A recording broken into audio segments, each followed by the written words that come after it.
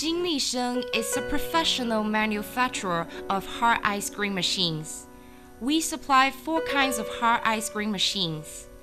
YB40 with 12 liter freezing cylinder, floor model.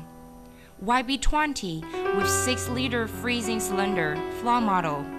YB20C with 6 liter freezing cylinder and with 4 keep fresh hopper with freezing function, one of our patent productions. And YB15 with 6 liter freezing cylinder, counter model. With the Jinli Sheng hard ice cream machine, you can easily make tasty hard ice cream. Below, please watch the operational steps. 1. Assembly A. Assemble the beater while inside the freezing cylinder. B. Assemble the freezing door.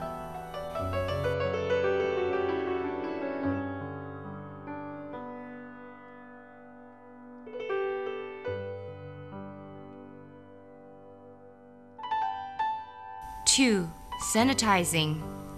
Prepare an approved sanitizing solution. Use warm water and follow the manufacturer's specifications. Pour the warm water with sanitizing solution into the freezing cylinder through the feeder chute. Press the wash button. This will cause the sanitizing solution in the freezing cylinder to be agitated. Allow it to agitate for 5 minutes. Then, press wash button again. The machine stops cleaning. Place an empty pail on the platform beneath the outlet door and press the wash button. Lift the latch of the outlet door. The sanitizing solution will come out of the freezing cylinder. When the sanitizing solution stops flowing out from the outlet door, lower the latch of the outlet door and press wash button again. 3. Cleaning.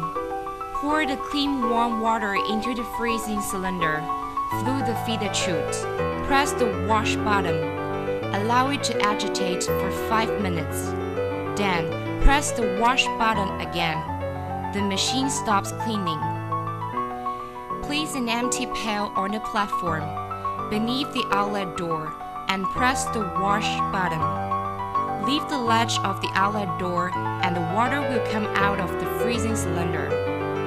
When the water stops flowing out from the outlet door, lower the latch of the outlet door and then press the wash button again. Repeat this process for two times. 4.